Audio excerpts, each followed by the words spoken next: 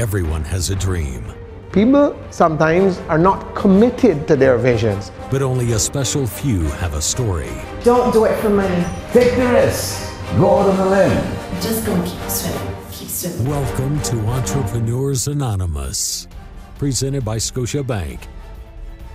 I don't think that you should even think of stepping out to be an entrepreneur or start a business unless you have a support system.